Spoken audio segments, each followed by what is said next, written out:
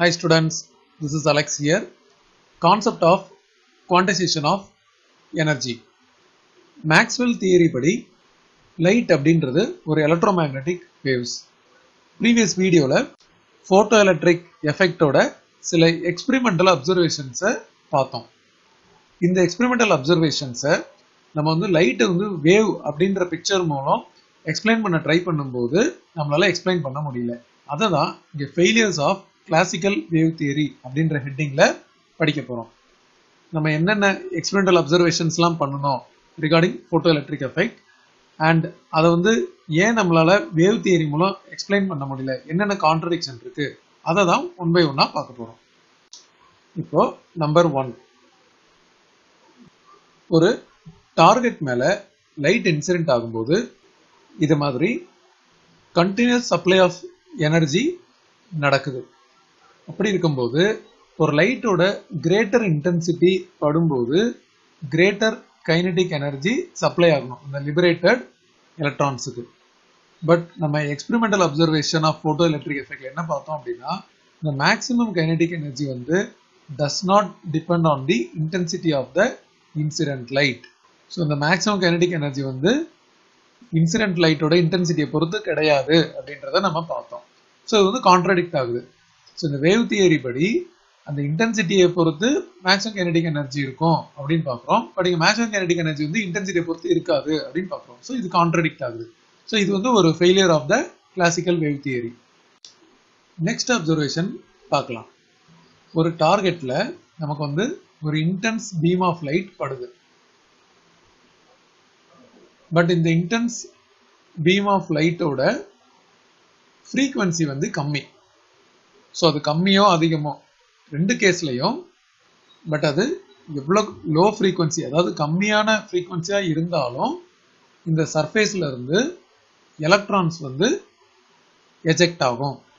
அப்படின்றது வேவ் தியரியோட concept so wave theory என்ன சொல்லுது? அப்படின்னு பார்த்தீங்கன்னா நமக்கு இன்டென்ஸ் பீமாக இருந்தால் போதும். ஃப்ரீக்குவென்சியை பற்றி கவலை இல்லை.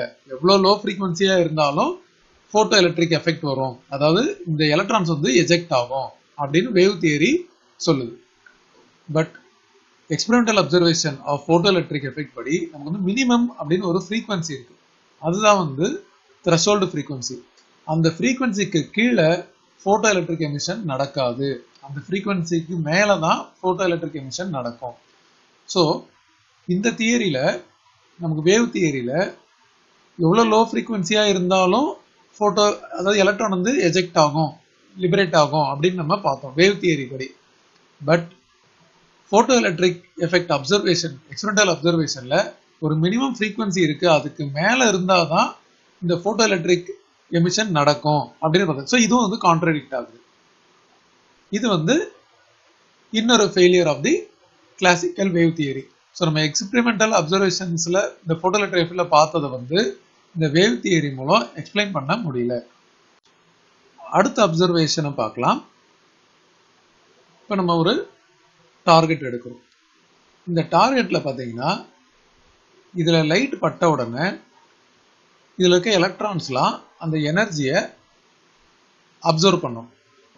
பட் இந்த லைட்டோட எனர்ஜி பார்த்தீங்கன்னா அந்த வேவ் ஃப்ரண்ட் ஃபுல்லாக ஸ்ப்ரெட் ஆகியிருக்கும் ஸோ அது பரவி இருக்கும் பட் இந்த எனர்ஜியை லார்ஜ் நம்பர் ஆஃப் எலக்ட்ரான்ஸ் வந்து அப்சர்வ் பண்ணும் நிறைய எலக்ட்ரான்ஸ் இருக்கும். இப்படி லார்ஜ் நம்பர் ஆஃப் எலக்ட்ரான்ஸ் அதை அப்சர்வ் பண்ணுறனால அதுக்கு கொஞ்சம் கன்சிடரபிள் டைம் ஆகும். இங்கே ஸ்ப்ரெட் ஆகிருக்கிற எனர்ஜி எல்லாத்தையும் இதை அப்சர்வ் பண்ணி அது அந்த ஒர்க் ஃபங்க்ஷனை ஓவர் கம் பண்ணி இங்கே இருக்கிற இந்த எலக்ட்ரான்ஸ் வந்து இப்படி லிபரேட் ஆகுறதுக்கு கொஞ்சம் கன்சிடரபிள் டைம் ஆகும். ஸோ ஈவன் அது வந்து ஒரு ஃபியூ ஹவர்ஸ் கூட ஆகலாம். ஸோ வேவ் தியரியோட கான்செப்ட் படி. பட் எக்ஸ்பெரிமெண்டல் அப்சர்வேஷன் படி ஃபோட்டோ எலக்ட்ரிக் எமிஷன் அப்படின்றது வந்து ஒரு இன்ஸ்டன்டேனியஸ் ப்ராசஸ் அதாவது ஒரு உடனடி நிகழ்வு. இது எந்த டைமும் எடுத்துக்கிறது கிடையாது. ஸோ இங்கே வந்து கன்சிடரபிள் அமௌண்ட் ஆஃப் டைம் ஆகும்னு பார்த்தோம் இல்லையா? So considerable amount of time அப்படின்றது ஈவன் ஃபியூ ஹவர்ஸ் கூட ஆகலாம் அப்படின்னு பார்த்தோம். பட் இங்கே பார்த்தீங்கன்னா அந்த டைம் வந்து less than ten power minus nine seconds வரைக்கும் இருக்கும். அதாவது அந்த ஒளி பட்ட உடனே எலக்ட்ரான் எஜெக்ட் ஆகிறது ஒளி படுற டைமுக்கும் அந்த எலக்ட்ரான் எஜெக்ட் ஆகிருக்கும் அந்த நடுவில் இருக்க அந்த டைம் வந்து பார்த்தீங்கன்னா ten power minus minus nine செகண்ட்ஸை விட கம்மியாக இருக்கும். ஸோ இது பார்த்தீங்கன்னா இது ஆல்மோஸ்ட் வந்து இன்ஸ்டன்டேனியஸ் ப்ராசஸ் ஸோ இங்கே வந்து நிறைய டைம் ஆகுது. இங்கே வந்து இன்ஸ்டண்ட்டாக நடக்குது. ஸோ இந்த எக்ஸ்பிரிமெண்டல் அப்சர்வேஷனில் நம்ம பார்த்த இந்த இன்ஸ்டன்டேனியஸ் ப்ராசஸ் அப்படின்றத இந்த வேவ் தியரி மூலம் எக்ஸ்பிளைன் பண்ண முடியலை. இது வந்து அனதர் ஃபெயிலியர் இந்த சமயத்தில் மேக்ஸ் பிளாங்க் அப்படின்றவங்க ஒரு குவாண்டம் அப்படின்ற ஒரு கான்செப்டை கொடுக்குறாங்க. அதாவது ஒரு பிளாக் பாடி ரேடியேஷன்ஸை எக்ஸ்பிளைன் பண்ணுறதுக்காக குவாண்டம் கான்செப்ட் அப்படின்றத ப்ரொப்போஸ் பண்ணுறாங்க இந்த பிளாக் பாடி ரேடியேஷன்ஸ் அதுக்கப்புறம் அதோட ஷேப் அந்த ரேடியேஷனோட கர்வோட ஷேப் இதெல்லாம் எக்ஸ்பிளைன் பண்ணுறதுக்காக கொடுத்தது தான் குவாண்டம் கான்செப்ட் அது என்ன அப்படின்றத இப்போ டீட்டெயிலாக பார்க்கலாம். பிளாங்க்ஸ் கான்செப்ட் படி சப்போஸ் இப்போ ஒரு மேட்டர் இப்படி இருக்குது அப்படின்னா இது வந்து made up of large number of oscillating particles இந்த மேட்டர் அப்படின்றது made up of large number of oscillating particles oscillating particles அப்படின்னா ஆட்டம்ஸ் இது எல்லாமே வந்து டிஃப்ரெண்ட் ஃப்ரீக்வன்சிஸில் வைப்ரேட் ஆகும். இந்த பார்ட்டிகல்ஸ்லாம் என்ன பண்ணணும்னு பார்த்தீங்கன்னா அதே ஃப்ரீக்வன்சி இருக்கிற ரேடியேஷன்ஸை எதர் எமிட் பண்ணும் இல்லாட்டி அப்சர்வ் பண்ணும். இப்படி இருக்கும்போது ஒரு ஆசிலேட்டர் வந்து ஃப்ரீக்வன்சி நியூவில் வைப்ரேட் பண்ணும்போது அதோட எனர்ஜி வந்து ஒரு டிஸ்கிரீட் வேல்யூ இருக்கும். டிஸ்கிரீட் அப்படின்னா ஒரு தனித்தனி வேல்யூஸ் அதாவது அதோட வேல்யூ வந்து என் ஹெச் நியூ அப்படின்னு வரும். என் அப்படின்றது வந்து ஒன் டூ த்ரீ அப்படின்ற வேல்யூ எடுத்துக்கும். ஹெச் அப்படின்றது ஒரு கான்ஸ்டன்ட் அது வந்து ஒரு பிளாங்க் கான்ஸ்டன்ட் ஸோ இதோட எனர்ஜி வந்து ஒரு டிஸ்கிரீட் வேல்யூ இருக்கும் அப்படின்றது தான் பிளாங்க்ஸோட கான்செப்ட் அதே மாதிரி இந்த ஆசிலேட்டர் வந்து எனர்ஜியை எமிட் பண்ணுறது அப்சர்வ் பண்ணுறது பார்த்தீங்கன்னா ஒரு ஸ்மால் பேக்கெட் ஆர் குவாண்டா அப்படின்னு இருக்கும். அந்த எனர்ஜி ஈச் குவாண்டம் வந்து இ கொடு ஹெச் நியூ அப்படின்ற எனர்ஜி இருக்கும் அப்படின்றத கொடுத்தாங்க. அப்போ இதன் மூலம் நமக்கு என்ன தெரியுது அப்படின்னா வேவ் கான்செப்ட் படி நம்ம கன்சிடர் பண்ணியிருந்த எனர்ஜி வந்து கண்டினியூஸ் அப்படின்றது இல்லை. அதாவது energy is not continuous as believe in the wave picture so wave picture வந்து எனர்ஜி வந்து ஒரு கண்டினியூஸ் அப்படின்னு வச்சிருந்தோம். பட் அது வந்து இப்படி கண்டினியூஸ் கிடையாது அப்படின்றது இதன் மூலம் தெரியுது. இதில் வந்து நமக்கு வந்து இது வந்து ஒரு டிஸ்கிரீட் வேல்யூ அப்படின்றத கொடுக்குது. அந்த டிஸ்கிரீட் வேல்யூவோட ஃபார்முலா அதாவது E equal to N H nu அப்படின்ற ஃபார்முலாவோட பிளான்ஸ் கான்ஸ் பிளான்ஸ் கான்செப்ட் நமக்கு கொடுக்குது. அண்ட் இந்த எனர்ஜியும் பார்த்தீங்கன்னா இது வந்து ஒரு ஸ்மால் பேக்கெட்டாக இருக்கும் ஆர் குவாண்டமாக இருக்கும். அதோட வேல்யூ தான் வந்து E equal to H nu அப்படின்றதையும் கொடுக்குது. அப்போது இது கண்டினியூஸ் இல்லை அப்படின்றது தெளிவாயிடுது. இதை தான் நம்ம குவான்டைசேஷன் ஆஃப் எனர்ஜி அப்படின்னு சொல்றோம். அது கண்டினியூஸ் கிடையாது அது டிஸ்கிரீட் அதாவது இது வந்து ஒரு அலை கொள்கையில சொல்லப்பட்டது போல இந்த ஆற்றல் வந்து தொடர்ச்சியானதாக இல்லை குவாண்டமாக உள்ளது. டிஸ்கிரீட் அதாவது தொடர்ச்சியற்ற தனித்தனியான சிறு சிறு சிப்பங்களாக உள்ளது. இததான் ஆற்றல் குவாண்டமாக்கல் என்பது. இப்ப பார்த்த இந்த கான்செப்ட் எல்லாத்தையும் நம்ம வந்து ஒரு குயிக் ரீகேப் பண்ண போறோம். ஸோ இந்த கான்செப்ட் பார்த்தீங்கன்னா quantization of energy so quantization of energy பார்க்கறதுக்கு முன்னாடி ஏன் இந்த கிளாசிக்கல் வேவ் தியரி ஃபெயிலியர் ஆச்சு அப்படின்றத பார்த்தோம். நம்ம ஒரு சில அப்சர்வேஷன்ஸ் வந்து ஃபோட்டோ எலக்ட்ரிக் எஃபெக்ட் மூலம் நம்ம பார்த்தோம். அதை வந்து வேவ் தியரி அப்படின்ற கான்செப்ட் படி நம்மளால எக்ஸ்பிளைன் பண்ண முடியல. ஸோ அது என்னென்ன அப்படின்னு பார்த்தீங்கன்னா ஃபர்ஸ்ட் ஒரு லைட் அப்படின்றது வந்து ஒரு கண்டினியூஸ் சப்ளை ஆஃப் எனர்ஜி அப்படின்றத பார்த்தோம். அப்படி இருக்கும்போது இதோட கிரேட்டர் இன்டென்சிட்டி இருந்துச்சு அப்படின்னா கிரேட்டர் கைனடிக் எனர்ஜி இருக்கும். அதுக்கப்புறம் இந்த எலக்ட்ரான் வந்து லிபரேட் ஆகிறது கிரேட்டர் கைனடிக் எனர்ஜி இருக்கும் அப்படின்றது வேவ் தியரியோட கான்செப்ட் பட் போட்டோ எலக்ட்ரிக் எஃபெக்டோட அப்சர்வேஷன்ல மேக்ஸிமம் கைனடிக் எனர்ஜி வந்து இன்டென்சிட்டியை பொறுத்து கிடையாது அப்படின்றத பார்த்தோம். ஸோ மேக்ஸிமம் கைனடிக் எனர்ஜி வந்து இன்டென்சிட்டியை டிபெண்ட் பண்ணி இல்லை அப்படின்றத வேவ் தியரியால எக்ஸ்பிளைன் பண்ண முடியல. ஏன்னா வேவ் தியரி இதுக்கு ஆப்போசிட்டா சொல்லுது. கிரேட்டர் இன்டென்சிட்டியா இருக்கும்போது கிரேட்டர் கைனடிக் எனர்ஜி இருக்கும் அப்படின்னு சொல்லுது. அடுத்தது ஒரு இன்டென்ஸ் பீம் வரும்போது அது லோ ஃப்ரீக்வன்சியா இருந்தாலும் போட்டோ அதாவது எலக்ட்ரான் வந்து எஜெக்ட் ஆகும் அப்படின்றது வேவ் தியரி சொல்லுது. But experimental observation of photo electric effect படி ஒரு மினிமம் ஃப்ரீக்வன்சி இருக்கணும். இருந்தால் தான் போட்டோ எலக்ட்ரிக் எமிஷன் நடக்கும். அதுக்கு கீழே வந்து போட்டோ எலக்ட்ரிக் எமிஷன் நடக்காது.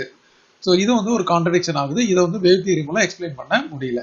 இது வந்து இன்னர் ஃபெயிலியர் அதே மாதிரி இந்த எனர்ஜி வந்து இந்த வேவ் ஃப்ரண்ட்ல ஸ்ப்ரெட் ஆகிருக்கும் அது வந்து இந்த எலக்ட்ரான்ஸ் வந்து லார்ஜ் நம்பர் அப்சர்வ் பண்ணும்போது அதுக்கு சஃபிஷியண்டா நிறைய டைம் ஆகும். அது வந்து எல்லா எனர்ஜியும் அப்சர்வ் பண்ணி அந்த ஒர்க் ஃபங்க்ஷனை எக்ஸீட் ஆகி அதுக்கப்புறம் லிபரேட் ஆகி வர்றதுக்கு ஈவன் ஃபியூ ஹவர்ஸ் ஆகும். But photo electric emission observe பண்ணும்போது அது வந்து ஒரு இன்ஸ்டன்டேனியஸ் ப்ராசஸ் அப்படின்றத நம்ம பார்த்தோம். அந்த லைட் படுறதுக்கும் எலக்ட்ரான் எஜெக்ட் ஆகுறதுக்கும் இருக்கிற டைம் கேப் பார்த்தீங்கன்னா டென் பவர் மைனஸ் நைன் செகண்ட்ஸை விட கம்மியாக தான் இருக்கும். ஸோ அது வந்து ஒரு இன்ஸ்டன்டேனியஸ் ப்ராசஸ் இதை வந்து வேவ் தியரி மூலம் எக்ஸ்பிளைன் பண்ண முடியல. அந்த டைமில் தான் மேக்ஸ் பிளாங்கோட குவாண்டம் கான்செப்ட் வருது. ஸோ ஒரு மேட்டர் இருக்குது அப்படின்னா இது வந்து made up of the large number of oscillating particles ஒவ்வொன்றும் வந்து ஒவ்வொரு ஃப்ரீக்வன்சியில் வைப்ரேட் ஆகும். ஸோ இது வந்து ஒரு எலக்ட்ரோமேக்னட்டிக் ரேடியேஷன்ஸை ஆஃப் சேம் ஃப்ரீக்வன்சி இருக்கிறத எமிட் பண்ணும் இல்லை அப்சர்வ் பண்ணும். அப்படின்றத மேக்ஸ்வெல் அதாவது சாரி பிளாங்க்ஸ் அப்படின்றவங்க இந்த கான்செப்டை கொடுத்தாங்க. மேக்ஸ் பிளாங்க் அப்படின்றவங்க இந்த கான்செப்டை கொடுத்தாங்க. ஸோ அவங்களோட கான்செப்ட் படி இந்த ஆசிலேட்டர் இருக்கு இல்லையா? இது வைப்ரேட் ஆகிற ஃப்ரீக்வன்சி நியூ அப்படின்னா இதுக்கு வந்து வெறும் டிஸ்கிரீட் வேல்யூஸ் தான் இருக்கும் இந்த எனர்ஜிக்கு இது வந்து ஒரு கண்டினியூஸ் வேல்யூ கிடையாது. அந்த டிஸ்கிரீட் வேல்யூ வந்து பார்த்தீங்கன்னா எனர்ஜியோட வேல்யூ என்ஹெச் நியூ அப்படின்றது. என் அப்படின்றது ஒன் டூ த்ரீ அப்படின்ற வேல்யூ இருக்கும். இந்த ஹெச் அப்படின்றது வந்து ஒரு பிளாங்க்ஸ் கான்ஸ்டன்ட் அதே மாதிரி இந்த ஆசிலேட்டர் எமிட் பண்ற ஆர் அப்சர்வ் பண்ற எனர்ஜி பார்த்தீங்கன்னா ஒரு ஸ்மால் பேக்கெட் ஆஃப் எனர்ஜியா இருக்கும். குவான்டாவா இருக்கும். அண்ட் ஈச் குவாண்டாவோட எனர்ஜி பார்த்தீங்கன்னா ஹெச் நியூ அப்படின்னு இருக்கும். ஸோ இதன் மூலம் நமக்கு என்ன கான்செப்ட் சொல்கிறாங்க அப்படின்னா இது வந்து ஒரு கண்டினியூஸ் கிடையாது. இந்த எனர்ஜி அப்படின்றது வந்து வேவ் தியரியில் சொன்னது மாதிரி இது வந்து ஒரு கண்டினியூஸ் கிடையாது. இது வந்து ஒரு டிஸ்கிரீட் அதாவது small packet of energy or quanta so இதை தான் வந்து குவான்டைசேஷன் ஆஃப் எனர்ஜி அப்படின்னு அப்படின்னு நம்ம சொல்கிறோம் ஸோ ஏன் இந்த குவான்டைசேஷன் ஆஃப் எனர்ஜி வந்துச்சுன்னு பார்த்தீங்கன்னா இதில் நம்ம எக்ஸ்பெரிமெண்டல் அப்சர்வேஷனில் நம்ம பார்த்ததெல்லாம் வந்து வேவ் தியரியில் எக்ஸ்பிளைன் பண்ண முடியல. அதனால் குவாண்டம் அப்படின்ற ஒரு கான்செப்ட் வந்துச்சு. ஸோ அது கொடுத்தது வந்து மேக்ஸ் பிளாங்க் இந்த கான்செப்ட் வச்சு இந்த ஃபோட்டோ எலக்ட்ரிக் எஃபெக்டில் அப்சர்வ் பண்ணதெல்லாம் எக்ஸ்பிளைன் பண்ண லேட்டர் வந்து ட்ரை பண்ணாங்க. அது என்ன அப்படின்றத நம்ம அடுத்த வீடியோவில் பார்ப்போம்.